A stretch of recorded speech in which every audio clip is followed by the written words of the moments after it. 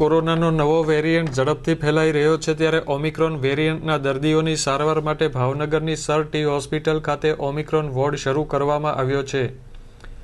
ભાવનગર શહેરમાં છેલ્લા એક સપ્તાહથી કોરોનાના કેસમાં વધારો થઈ રહ્યો હોય, આરોગ્ય વિભાગ દ્વારા રોગચાળો ફેલાતો અટકાવવા માટે ટેસ્ટિંગ સહિતની કામગીરી શરૂ કરવામાં આવી છે. ભાવનગરની સર તખ્તસિંહજી હોસ્પિટલ ખાતે કોરોનાના નવા વેરિયન્ટને ધ્યાને લઈ વીસ બેડની સુવિધા સાથેનો ઓમિક્રોન વોર્ડ શરૂ કરી દેવામાં આવ્યો છે.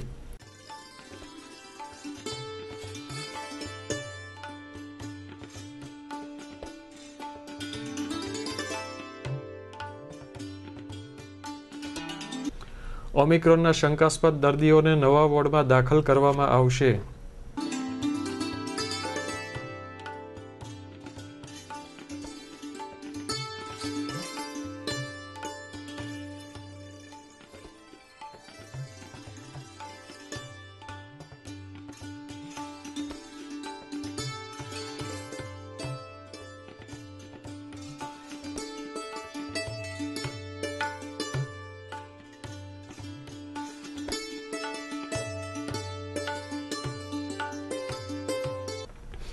આ અંગે હોસ્પિટલના એડમિનિસ્ટ્રેટર હાર્દિકભાઈ ગાંઠાણીએ માહિતી આપી હતી.